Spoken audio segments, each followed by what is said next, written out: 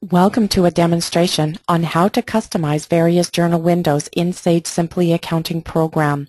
This presentation is presented by iaccountingtraining.com and its sister site simplytraining.ca.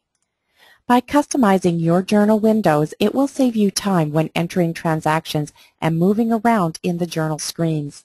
In this recording, you will learn where to access the Customize Journal Window feature Turn off columns that are not required in journal windows and customize the tabbing order for moving from field to field.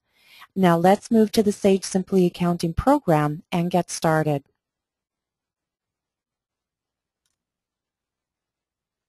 We're going to begin today with on, on the receivables page. When we are on the receivables page, each one of the journal windows will have a place to access where we can go in to customize a journal window. Let's begin with the sales invoice or the sales journal window. From the sales invoice icon, select the shortcut menu and select create invoice.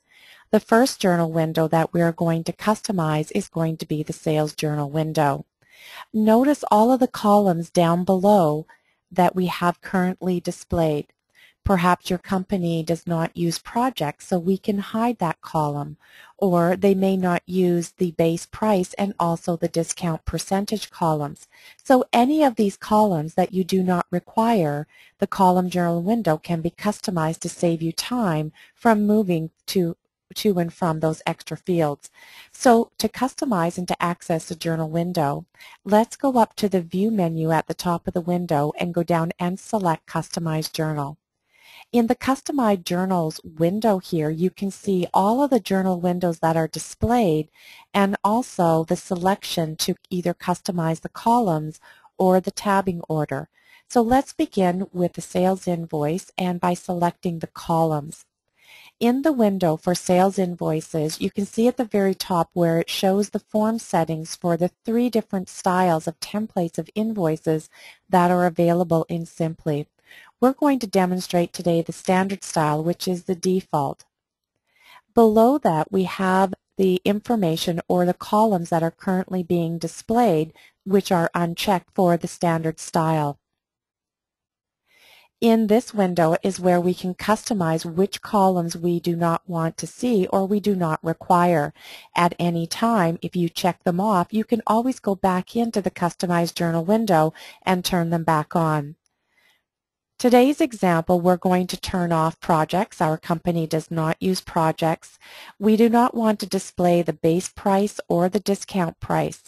All the other columns are the columns that we are going to use. Let's select OK in the window here and you'll see it'll return us back to the sales journal window, but it has hidden those specific columns. Now you can see the gray area at the side here. You can choose to restore the window. So let's go back up to view at the very top and you have the selection restore window. We're going to click on that and it's going to minimize the journal window. And in behind the scenes, Simply Accounting is automatically going to adjust the column size. So let's maximize the sales journal window and you can see we no longer have the gray side at the uh, side of the screen here and you can see that our journal windows um, columns have been uh, made to width. We can also in this window put our columns in order of our data entry. For example, if we like to have the price column beside our units, we can do that just by clicking on the price column, holding our mouse down, and you can see the column starting to drag. When we get it to where we would like it to be, just unclick your mouse and you'll see that we have moved the price column beside the unit column. So again there, you can customize your journal window to have the columns displayed that you want to see, and also you can move the columns in the order of how you do your data entry for example, your sales invoices. Another item that I'm going to show you today is how you can customize the tabbing order. So if you know on your, your tab button on your keyboard, if you click or you press tab, it'll move you from field to field. Let me just select a customer to give us an example here. You'll see that the cursor is in the customer's name. When I press the tab button on the keyboard, I'm not sure if you can see this or not, but it goes to the push pin beside the customer's name. So each time we tab, it'll move us to a different field. Well, if you don't use some of these fields, you can customize the tabbing order that you want the tab button to tab into. So let's go back up into the View menu at the top here. Again, select Customize Journal window. This time I'm going to go into the tabbing order. So right now, all windows are set to the default tabbing order. To change it to a custom tabbing order, let's select the Custom Tabbing Order button and you can see all the tabbing fields that Simply is going to move to. So for example, that customer name uh, push pin, if we don't want the tab button to automatically go to it, we can select it and click on the remove button here and now the tab will not go to the customer's uh, name push pin. Also certain um, items, for example, uh, the date calendar, if we just type in the date, we can also remove. So any of these uh, fields that we uh, we are tabbing to, if we want to skip over them, we can select and uh, put select and remove them from the tabbing order.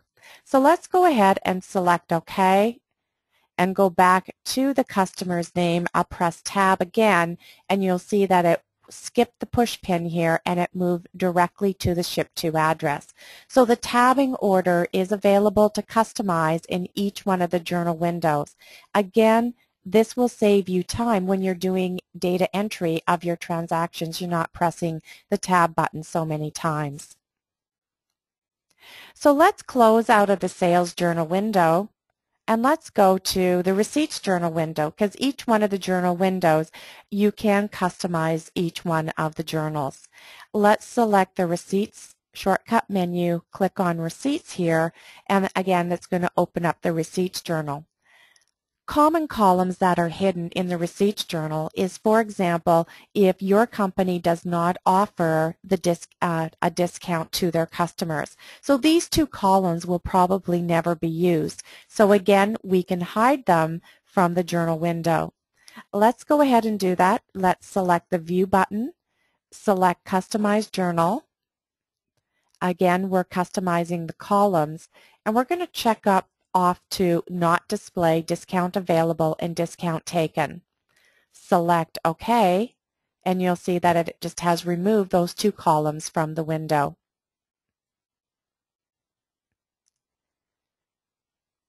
Let's move in now to the Purchases window. So we're going to select the Payables page. Let's display the Purchase Invoice window, which is the Purchases Journal window. Now this is an example of many columns that are displayed and if you are a company, for example a service company, and you do not have inventory items, you might want to customize the journal window again to only display the columns that you require. So let me do an example of just uh, a journal window of what you might use if you only enter in bills. Select the View menu at the very top of the window, select Customize Journal, also the columns, and uh, because you do not use inventory items, you can select to hide uh, certain uh, columns.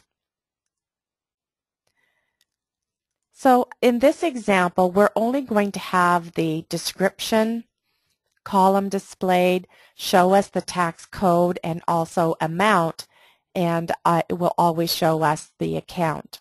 Let's select OK in the window. Again, I would like to restore the window so that I don't have the gray at the very side. Select View and Restore Window so that will minimize the window and we'll just maximize again.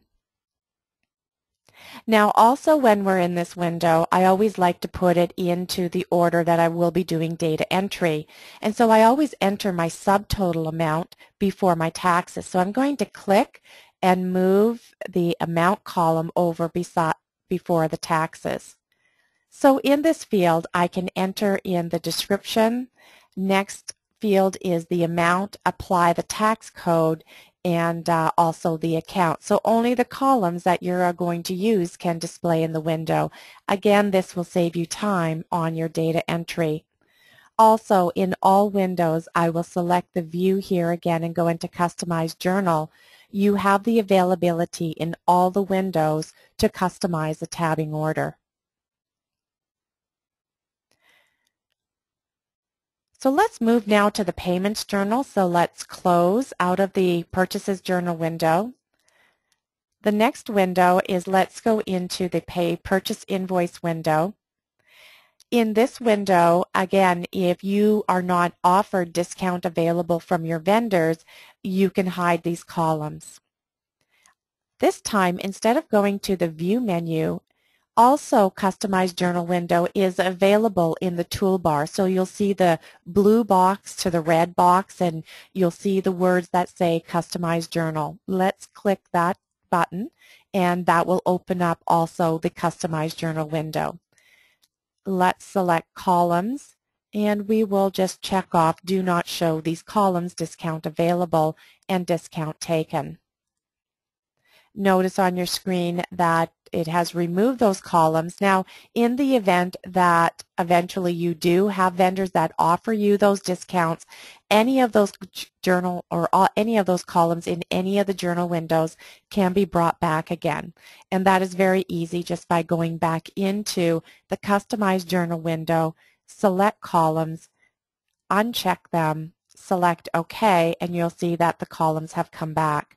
Now I would probably, again here, go to View, ask simply to restore the window, and then maximize it, and you can see that it's evened out the columns. The last journal window that we will display today is the General Journal window, which is found under the Company page in the Accountant's task. Click on the General Journal, and that will open up the General Journal window. In this column, if you don't want to see the comments column or the allocation line for projects, we can hide those two columns. Let's select View at the top, Customize Journal window, select columns, and you can hide these two columns. So then viewing on your screen, you have just a selection of selecting your account number and letting simply know if that account is a debit or a credit.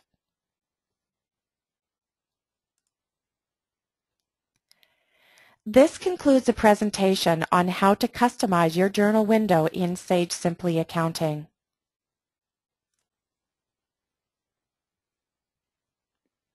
Please take the time to visit our websites, iaccountingtraining.com or simplytraining.ca.